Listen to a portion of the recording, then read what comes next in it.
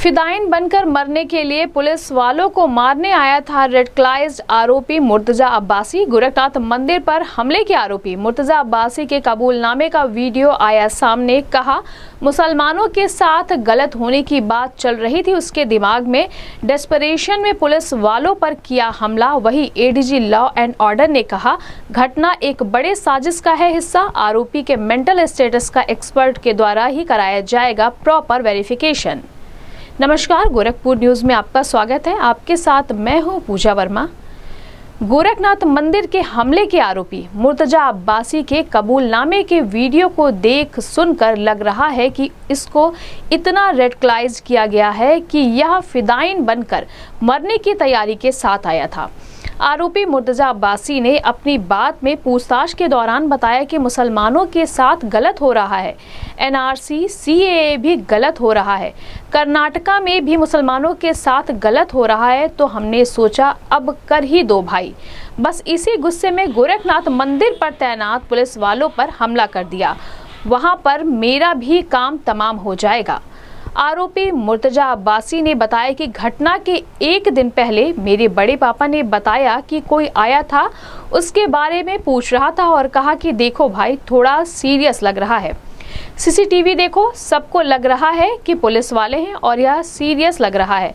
देख लो भाई, यहाँ रहोगे कि कहीं जाओगे?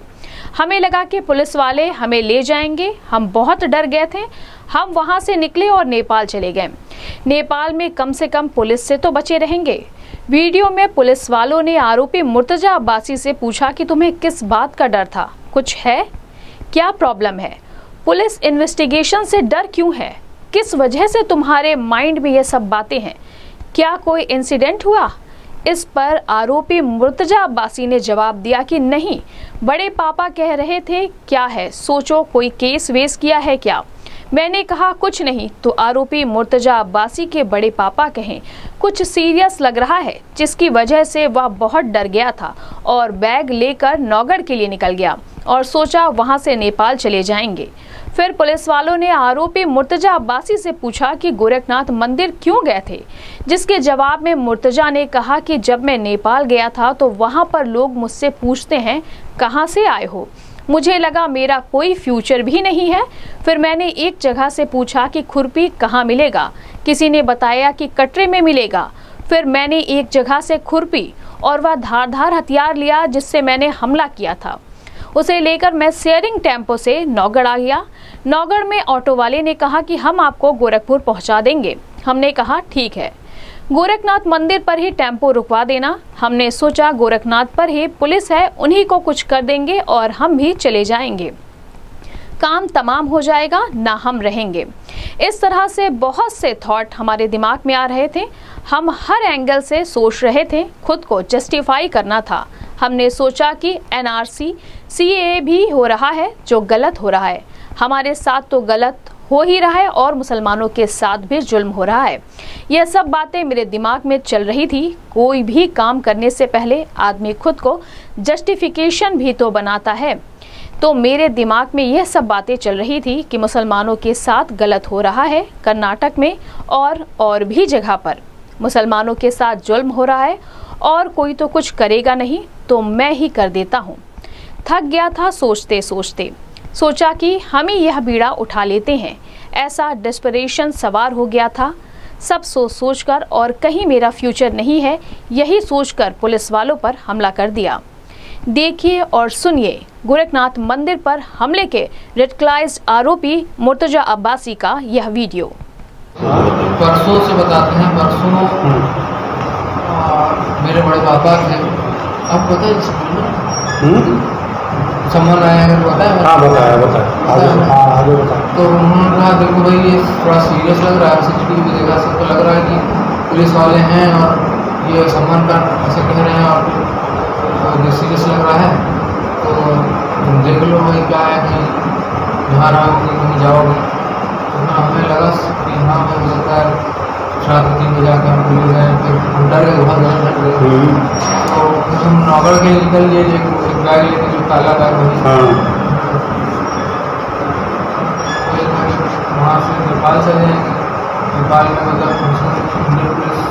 नहीं किस बात का डर था तुम कुछ कुछ है क्या प्रॉब्लम पुलिस पुलिस इन्वेस्टिगेशन से डर है। माइंड में किस चीज़ का? कोई बात हुई है कोई इंसिडेंट नहीं वो तो मेरे बड़े पापा कह रहे थे हम्म, कि क्या है सोचो कुछ भी हो गया मतलब वायलेट हो गया हो गया या कुछ भी सोचो तुम्हारे पिछली शादी हो गई केस वेस किया है क्या आप सोच रहे दिमाग लगा रहे हैं क्या हो सकती है? हमें लगा नहीं कुछ लग नहीं रहा है फेक ही लग रहा है फिर पापा गए तो पापा आए थे उस टाइम किराएदारी का काम करके तो उसमें वो वही थे तो कहने से कुछ सीरियस लग रहा है कुछ? नहीं ठीक है पुलिस की कोई बात नहीं। वहाँ जाने की क्या ज़रूरत हम सोचे कि फॉर इमीडिएट पर्पज ये है कि किसी और के घर जाओ और फिर फ़ोन भी ट्रेसेबल ना हो।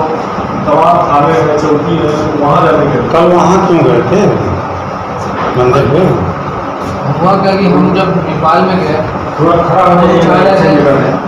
ट्रेनिंग टूल्स के लिए तो उनको एक खुरपी हमने पूछा खुरपी तो खुरपी के लिए बताया अंदर कोई कटरे में दुकान वो मैंने लिया और एक और वो बड़ा वाला जैसे किए थे वो लिए।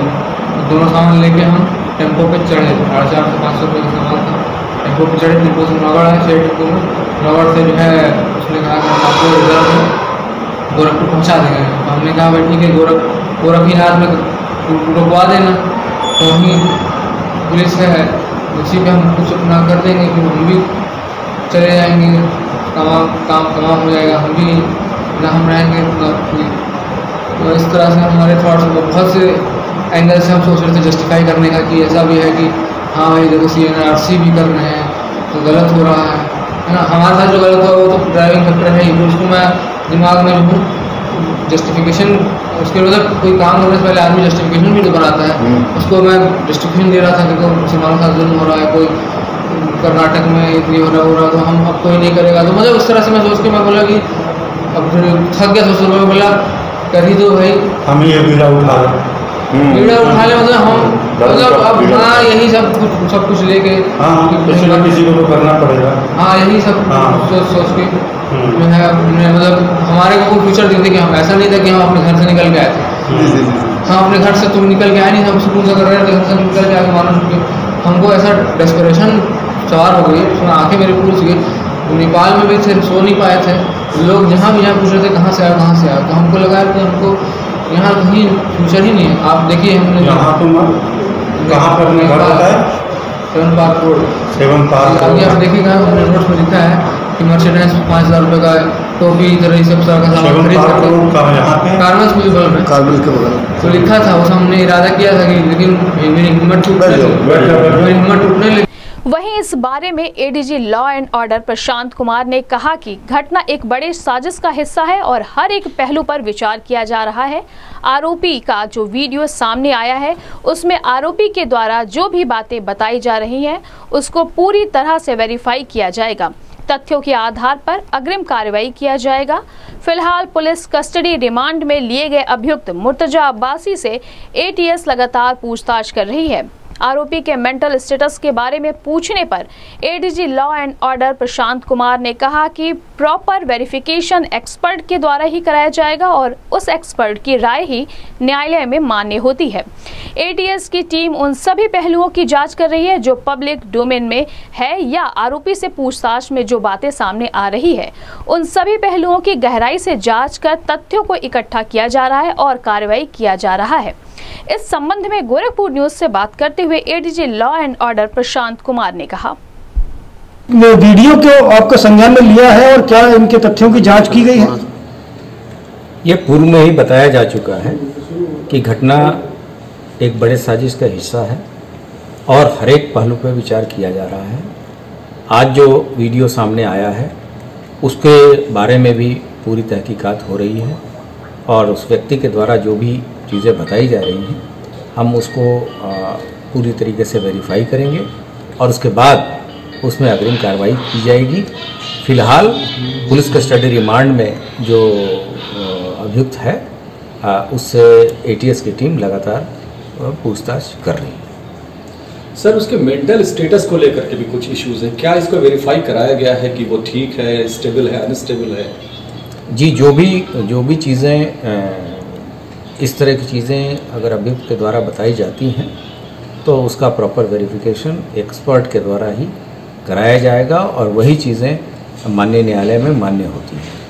उसकी विदेश यात्राओं के संबंध में सर क्या जानकारी मिल रही है? सभी चीज़ें जो कि पब्लिक डोमेन में है या पूछताछ के दौरान आ रही हैं उसकी आधिकारिक पुष्टि तथ्यों के आधार पर और सबूतों के आधार पे की जा रही है। सर एक आखिरी सवाल आपसे एक और सवाल लेना चाहेंगे कि 2012 से लेकर 2015 के बीच में ये बताया गया है कि ये जो अभियुक्त है, ये नेपाल के बैंकों के द्वारा सीरिया में फंडिंग करता था। क्या इसकी कोई पुष्टि हो पाई है? नहीं, अभी इस तरह की कुछ पुष्टि नहीं हुई है, लेकिन जो भी तथ्य पब्लिक डोमेन में हैं तथा पूछताछ के दौरान प्रकाश में आ रहे हैं, सभी पे हम लोग कार्रवाई करेंगे उसको संज्ञान में लेंगे तथा उस संबंध में आवश्यक एविडेंसेस कलेक्ट किए जाएँगे एक और बात बता रहे हैं कि परिवार की तरफ़ से जो अक्यूज है उसके परिवार की तरफ़ से दो फ़ोटो जो है वो जारी की गई है। उसमें बताया गया है कि दो व्यक्ति आए थे मोटरसाइकिल पे और उससे जो है पूछताछ उसके बारे में पूछताछ कर रहे थे। उनके जो बड़े पापा हैं उनके नर्सिंग होम में जाके। और कुछ छत्तीस लाख की लोन की भी बात कह रहे थे जिससे वो खासा दबाव में था। क्या ऐसा भी कोई एंगल है सर क्या वो ये- के आदमी थे? ये चीज़ें लोन के संबंध में जो भी बातें हैं उसका पुलिस से कोई लेना देना नहीं है। लेकिन अगर ऐसी चीज़ें होंगी तो उस चीज़ों को भी हम लोग अपने विवेचना के दौरान देखेंगे। 25 मार्च को सर आईएसआईएस का एक वीडियो जारी हुआ है जिसमें ठीक उसी तरह का असलाहा लिए हुए है जो दिखाया गया वीडियो में। बाका दिखाया है आईएसआईएस के वीडियो ने 25 मार्च को। उसके बाद रविवार को ये घटना होती है क्या संयोग है या कहीं ना कहीं कोई जुड़ाव है?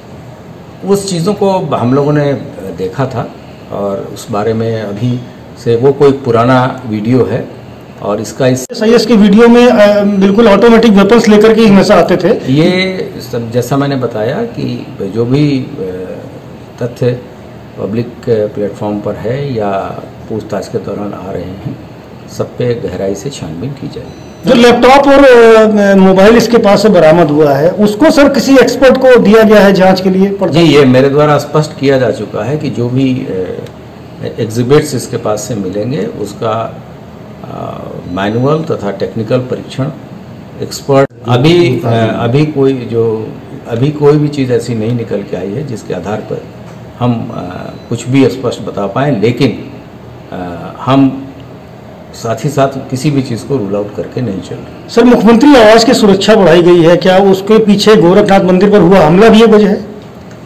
मैंने बताया कि बहुत सारे ऐसे संस्थान हैं रेजिडेंसेस हैं कॉम्प्लेक्सेस हैं जिसका अपना सिक्योरिटी स्कीम होता है, उसके तहत ही सुरक्षा की कार्रवाई की जाती है।